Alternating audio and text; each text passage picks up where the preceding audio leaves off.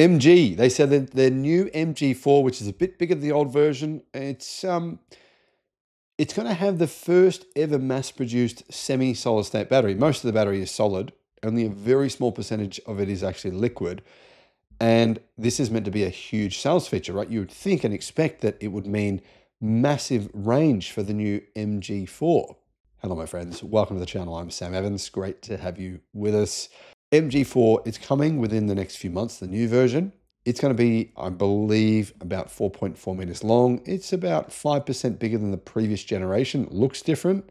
Not sure if I'd say it looks better, but it definitely looks different. And it's going to be the world's first car to have mass produced semi solid state batteries. First of all, I'm a little bit surprised about this news because MG SAIC, the parent company, they are crowing about this, using this as a big marketing thing. And you would think this would mean these new MG4s with these batteries would be much better than their rivals. Here are the actual details, straight from the company themselves. The new battery supplied by QingTao Energy contains only 5% liquid electrolyte, said Chen, who is the CEO. MG states this battery has passed rigorous safety tests, including a 360 degree puncture test and delivers a CLTC rated range of 537 kilometers, which is shockingly low. I'm thinking 537 kilometers. I mean, why? Is it a really small battery? Well, here's the thing the energy density is 180 watt hours per kilogram. MG says the battery provides 13.8% better range retention in cold conditions uh, at minus 7 degrees Celsius compared to traditional lithium iron phosphate batteries. Now, no, uh, that's kind of a mental claim because what batteries are they even referring to? They, which manufacturer?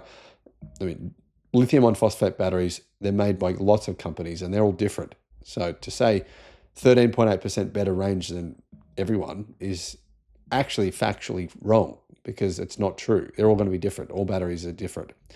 Anyhow, the energy density seems remarkably low, doesn't it? 180 watt hours per kilogram. There's actually lithium ion phosphate batteries on the market and NMC batteries with a high energy density. So I'm curious to know are they referencing the pack level energy density or the cell level? If this is pack level energy density, it probably means the actual cell level energy density is approximately 270 watt hours per kilogram, sort of similar to a Tesla 4680 battery cell, or say that BMW's new 4680 cylindrical cells. They're not exactly 4680, but those new cylindrical cells being used by various manufacturers and Mercedes Benz, their new batteries, they're providing about 20% more range as well. The energy density is probably similar to them. So, all the hype that's been coming out of China around semi solid state batteries, to be honest, hasn't really come true. WeLion, they produce semi solid state batteries for NIO as well. The energy density of those batteries is good, but it's not great. It's not outstanding, and I don't really see the purpose of them.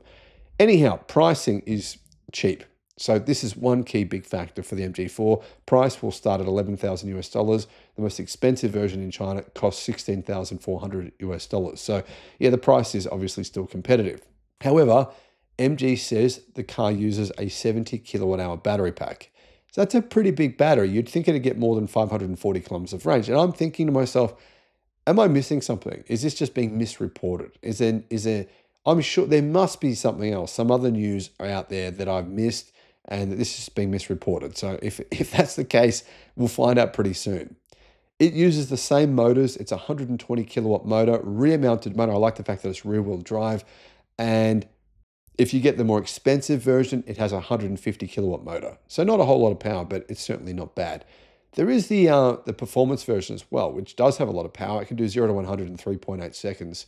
It's got more than, I believe, more than 300 kilowatt of power. The size, it's 4,395 millimeters long. So it's about 100 millimeters longer than the BYD Dolphin. To be honest, not a significant difference overall in terms of size. So I don't think you're going to go, wow, this is really a really big car or anything like that. Anyhow, the, the main takeaway here for me is interesting that um, this is the same company that's producing this semi-solid state battery. This is the same company that I recently did a video on on their solid state battery in a General Motors SAIC hot hatch. And that thing is a hot hatch. That's the fastest hot hatch in the world if they actually make it. It's a you know, it's, at this point in time, it's just a demonstration car. But if they actually made that thing, it's got, I believe, 2,000 horsepower, uh, it's got actual range of 1,250 kilometers using a, an actual solid state battery with energy density of around 400 watt hours per kilogram, meaning more than double the energy density of this battery. That's the real deal. That's the excitement. This semi solid state battery thing, it's going to be used as a marketing um, tool, essentially for MG, I assume, worldwide. But I don't really think they should do this because it's misleading. It's not the energy density isn't any better than any rivals batteries. So there's not really any reason to use this as a marketing tactic. It's not no real benefit to the end user. Let me know your thoughts and thanks for watching. Bye bye.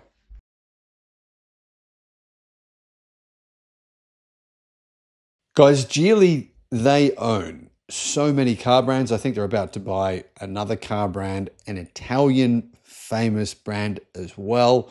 Very good chance that Geely buy Maserati, but they also own Volvo, they own Lynk & Co., they own Zeekr, Polestar, the list goes on and on.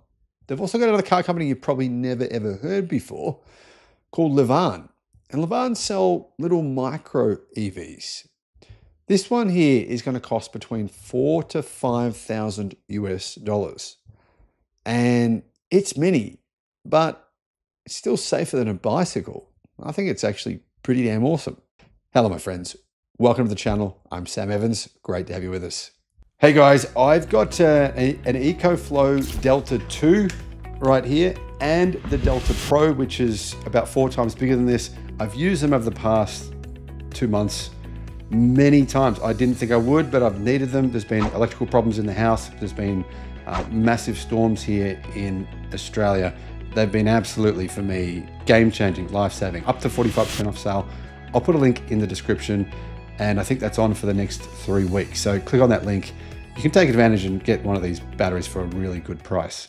This is Geely's new, well, it's response to the Wuling, really the Wuling Hongguang Mini, their little electric car, which is one of the best selling EVs in the world and also the response to the BYD Seagull. Yeah, it's smaller than a BYD Seagull, but it's about half the price. So this thing could do extremely well. How long is it? Well, very, very not long. It's short. It's 3.1 meters long, actually. So, yeah, it's not big, but apparently can fit four people. I don't know how you go getting four people in this car, but you could try. Peak power is 40 horsepower. But honestly, considering the fact this is only going to weigh about 850 kilograms, I think 40 horsepower would be enough. Livan is actually a brand that apparently focuses on making uh, cars with swappable batteries for taxi services in China.